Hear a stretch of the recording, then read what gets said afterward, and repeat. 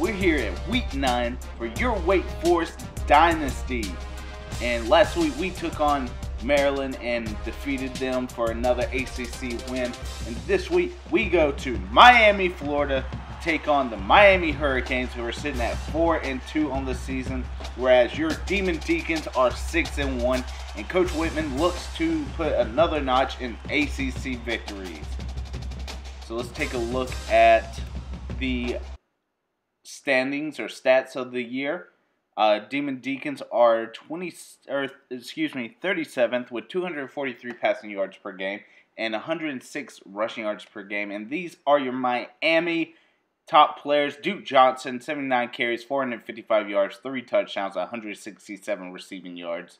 Henderson, who's going to be solidifying that left tackle spot, and Steve Morris, who is going to become a threat both passing and running. And your Wake Forest Demon Deacon players 44 receptions for Campanaro, 631 yards. Justin Jackson, who has a total of 35 tackles, 8 for a loss, and 2 sacks and 2 interceptions.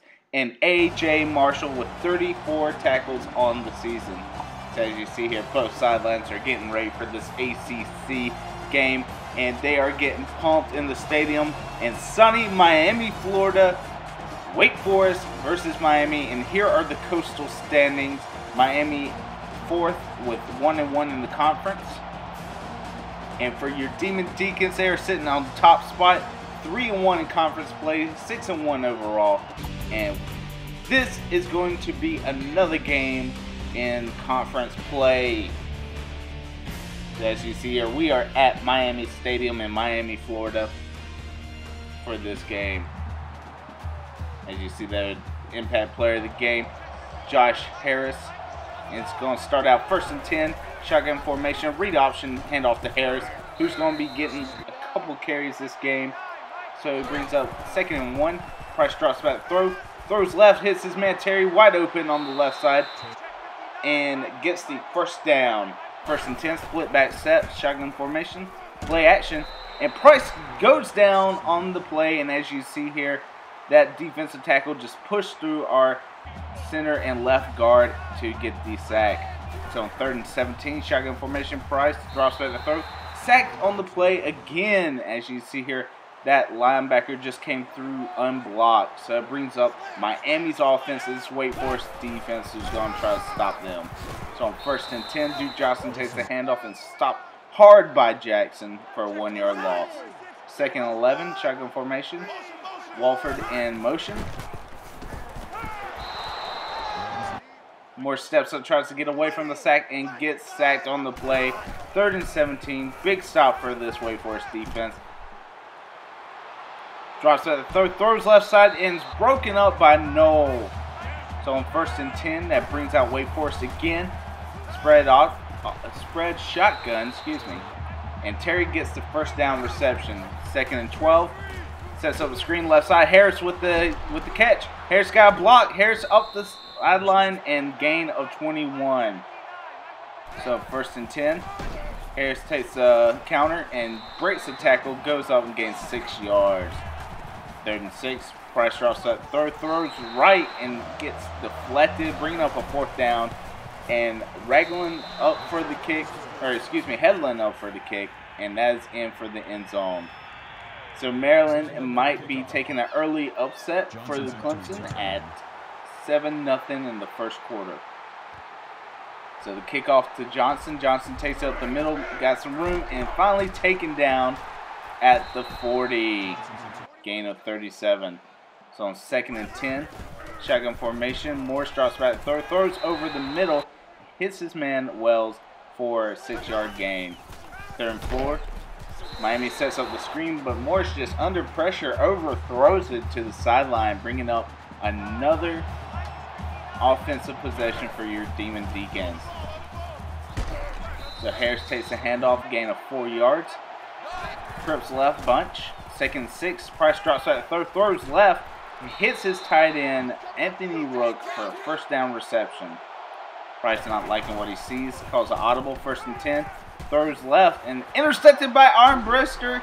And he's got some room. He is going to take it back to the 20 yard line first interception of the game for Tanner Price, and he has been ridiculed for his interceptions. So on second and 10, Duke Johnson sets up the screen and finally forced out of bounds by Redding. Third and 14, Morris drops back throw, five yard gain, and a fourth and nine. Miami elects to take the field goal as well, tying the game up. So first and 10, Price drops back to throw. Got some, no one open, and he's taking the sack, and that's going to be it for the first quarter. What an exciting gameplay. 3-3 tied game. Wake Forest, Miami. Let's get ready for this second quarter action.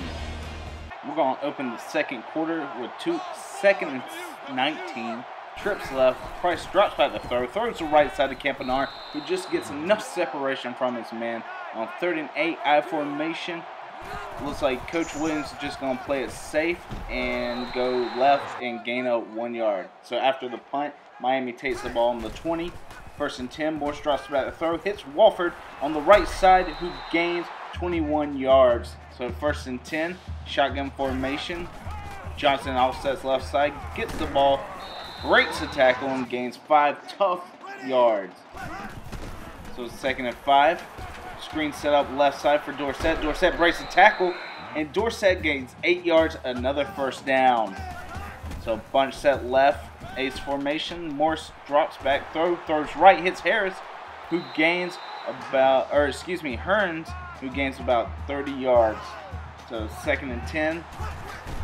Fullback in motion. Play action. Gets hit as he throws, and Scott grabs the ball for a 12 yard gain. So in the red zone, first and 10, 10 yard line. Morris drops back to throw.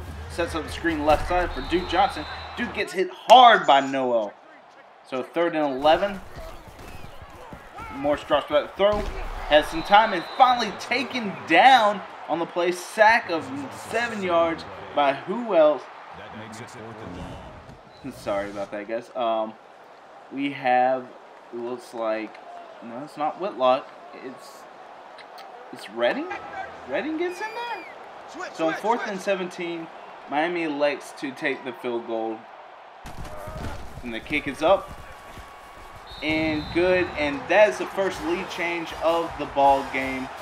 We have Miami going up 6 to 3. And let's take a look at the Clemson Maryland game where Maryland is up 14 to 7. And as this defense looks, they are getting after this Wake Forest Demon Deacon offense.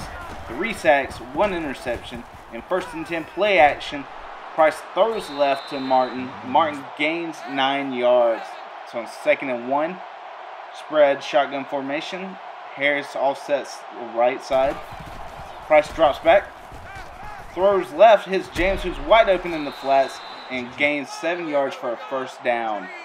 First and 10 again, shotgun formation. Tight end set right.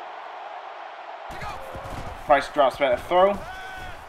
Got some time, but finally runs out of it.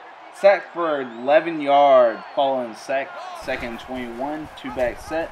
Triple option. Price pitches out to Harris. Harris has got some blocking.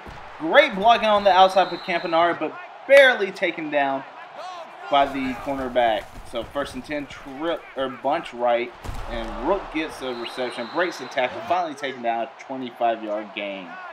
First and 10, shotgun formation. Harris offsets left side, and the draw, and nothing going, tackle for a loss.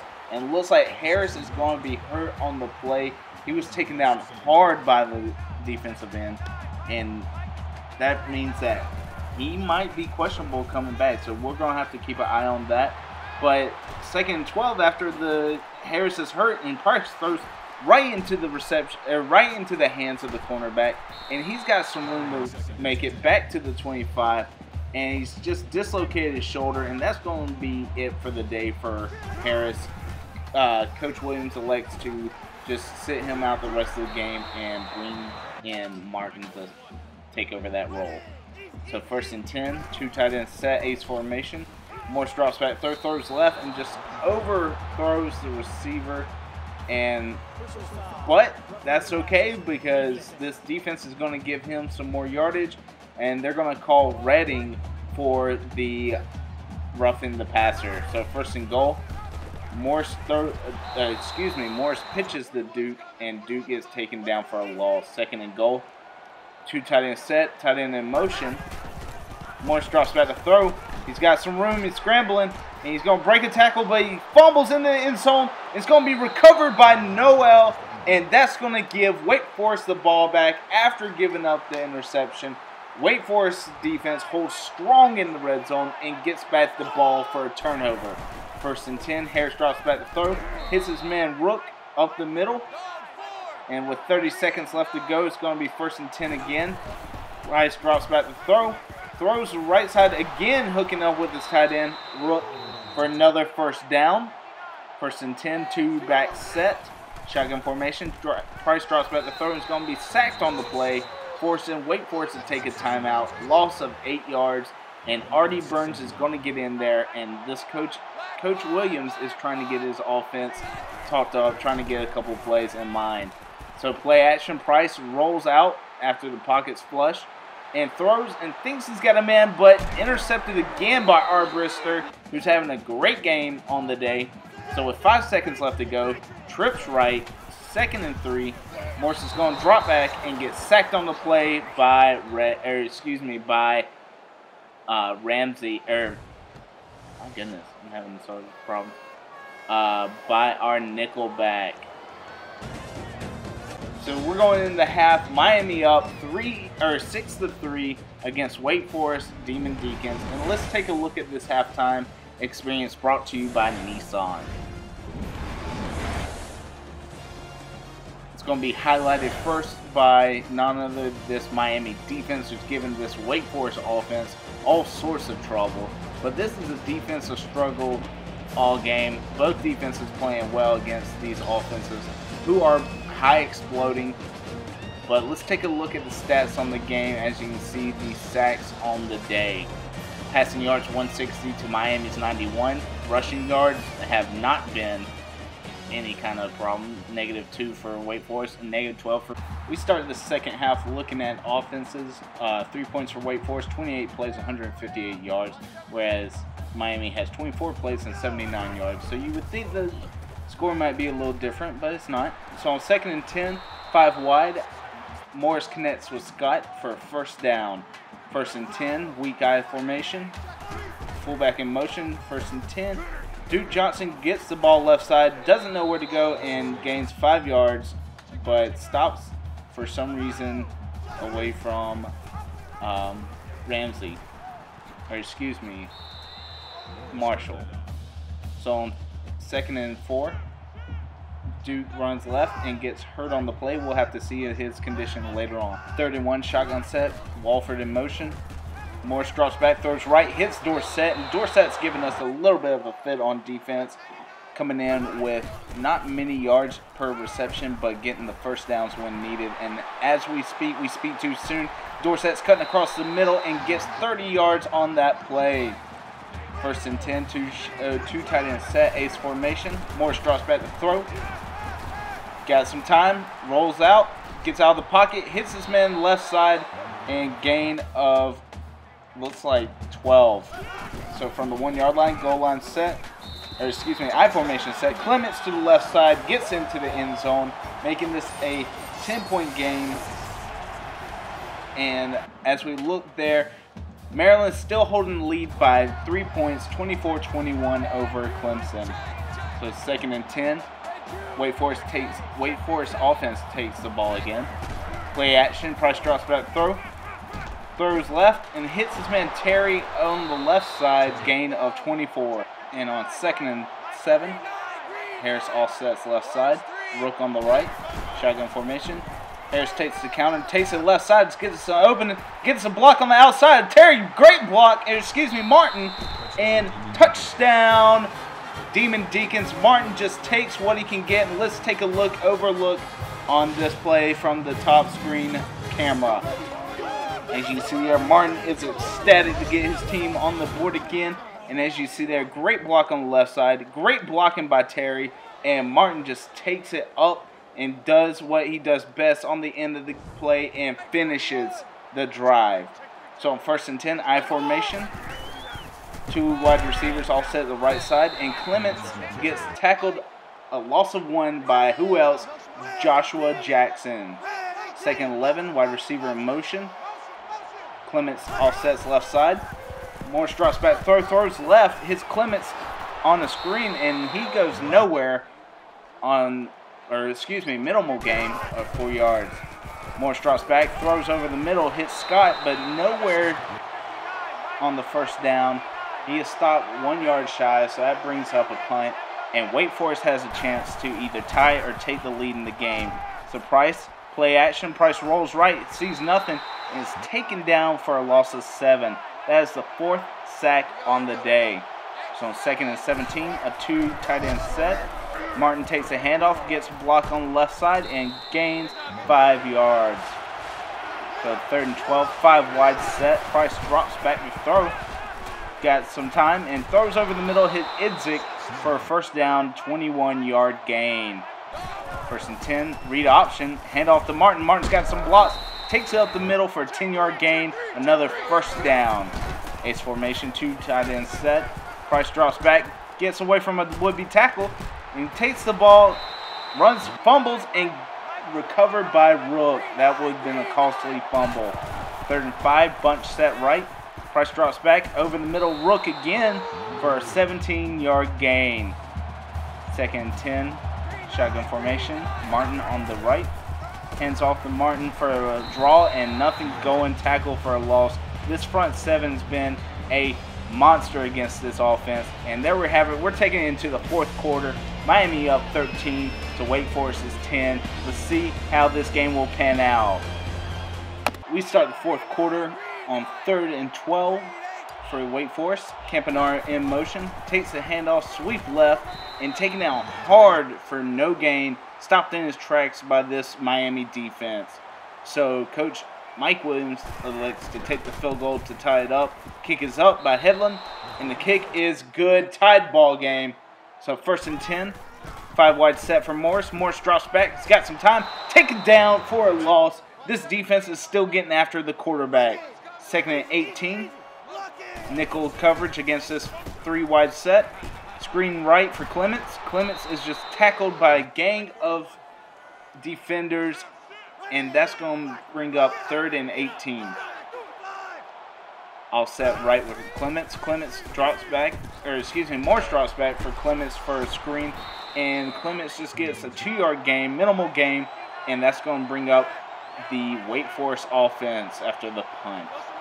So first and 10, Rook in motion, ace formation, two tight end set. Price with the pitch to Harris. Harris just going to follow his uh, blockers for a five-yard gain.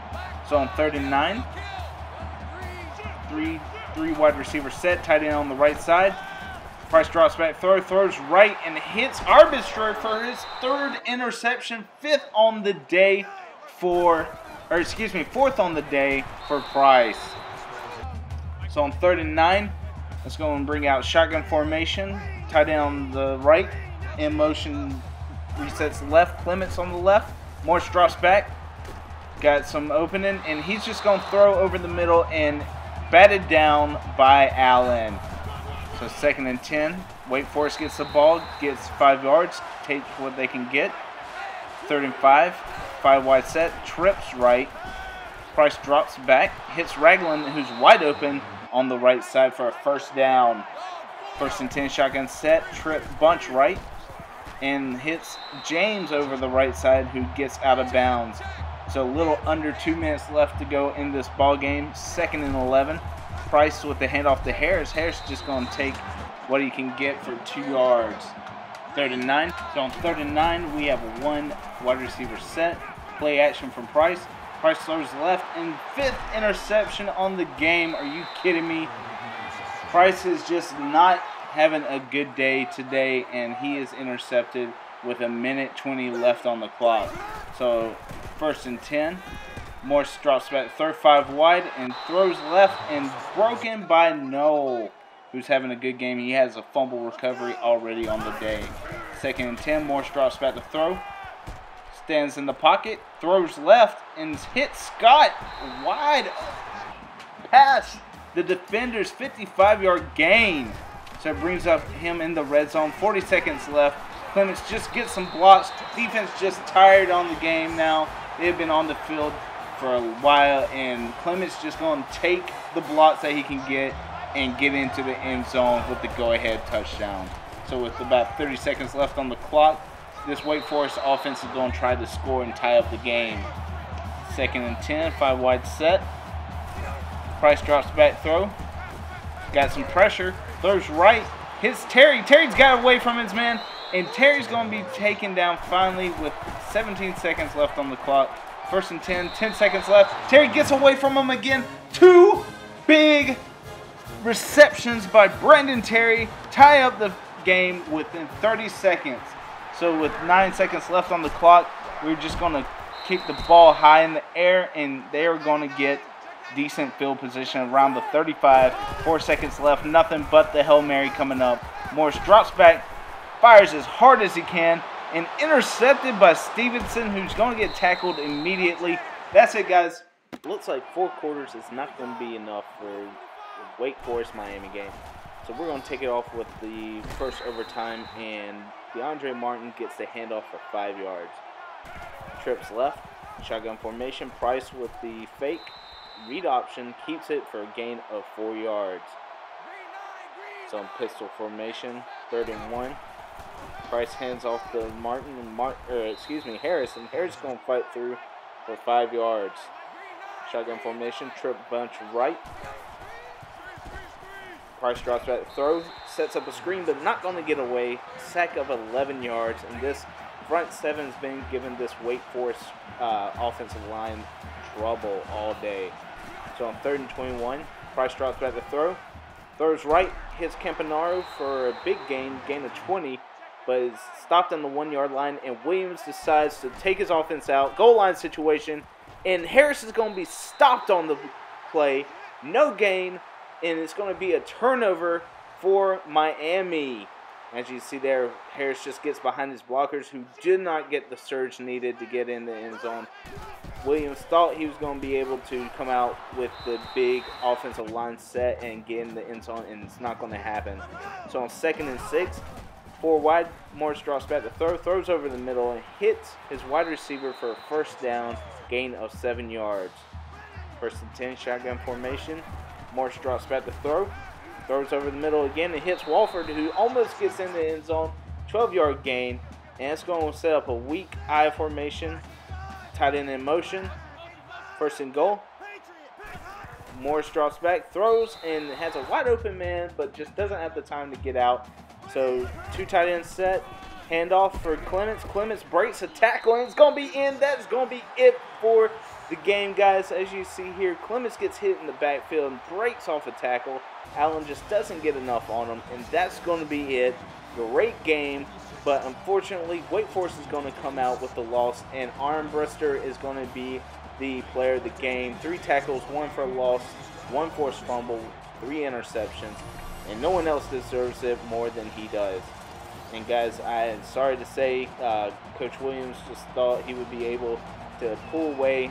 Uh, he took the gamble. I mean, on the one-yard line, you really cannot fault him there. Uh, and, there's just nothing to be said. This offensive line needed to push. They didn't get it. Miami's front seven, front eight, um, held in tight on that goal line and just pushed back and got the stop to win the ball game. As you see here here are the highlights of the game, and let's take a look of the stats of the game for Wake Forest.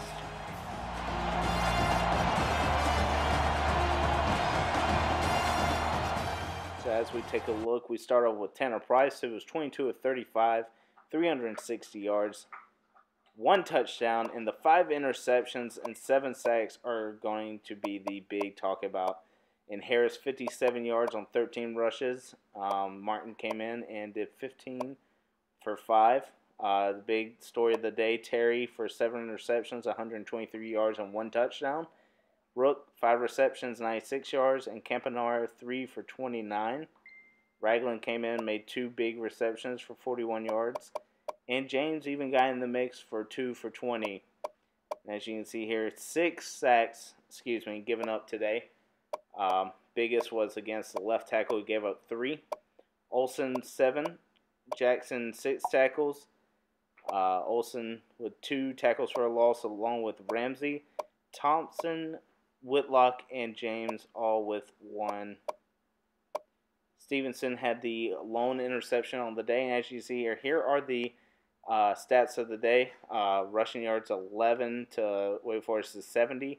246 to Wake Forest is 360. But the biggest thing there is the five turnovers for Wake Forest.